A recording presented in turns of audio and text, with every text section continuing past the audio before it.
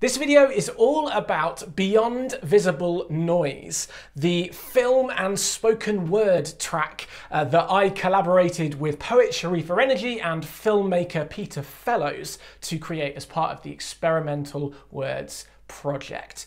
All the following footage is taken from a Q&A at our recent launch event for the album. If you've not actually watched the film itself, check that first and then come back here. Otherwise, all the other links to find out about all the other poems are in the description. I absolutely have to get like a quick reaction from Martin and Shareefa who haven't seen that film before.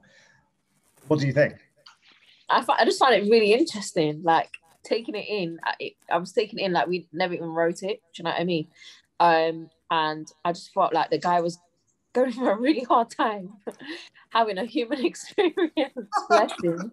uh, I have to say that, that is that is actually Peter, the filmmaker, who is the, the main. Yeah, Pete, Peter was struggling or something was going on. Like it was a lot, but um, yeah, uh, some parts have made me really laugh.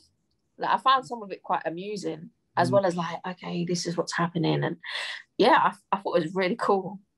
Peter, Peter's in the chat, by the way. He just said the struggle is real. Uh, Martin, what, what do you think? Of, what do you think the first time you're seeing your words turned into this video?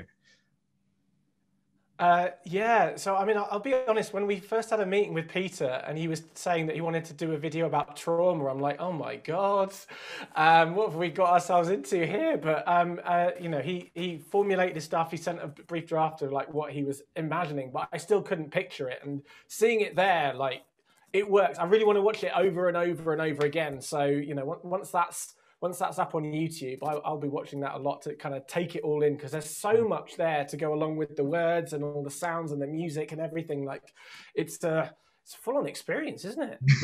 that's, that's a great way of putting it. Shareefa, like I just wonder if you can, because I know that your poetry explores like a lot of elements of like mysticism, and you know Martin's like work like is obviously based like in the stars like do you do you think there was a lot of crossover in like the ideas that you were kind of exploring there in, in, in the piece and the idea?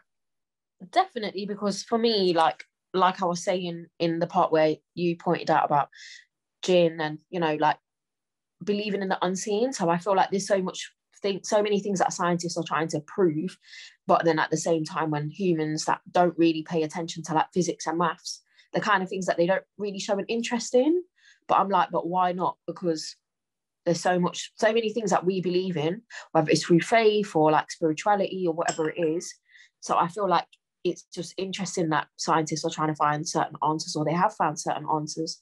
And um, i'm just i was just really intrigued by sound in space in general. So i really appreciate that you know we me and martin were brought together to work together Martin, you're really, really successful and well known and talented science communicator, like as well as scientists as well. How did you find this as a process as like science communication? We just had loads of really tangential chats about anything and everything like oh, like week after week after week and then somehow crafted that into some sort of narrative that kind of thematically links but takes you on a bit of a journey and now it's a film as well. Like it was it was crazy. Like i don't think it's probably the most creative i've been in quite a few years and it brought a lot of my other interests outside of science together and i didn't even know i was as interested in poetry as, as, as, as I've discovered. So, I mean, it was a fantastic process and I'm, I'm so happy with, with how it turned out.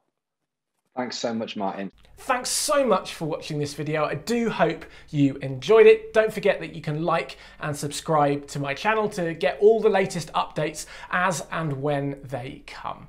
All right, see you soon.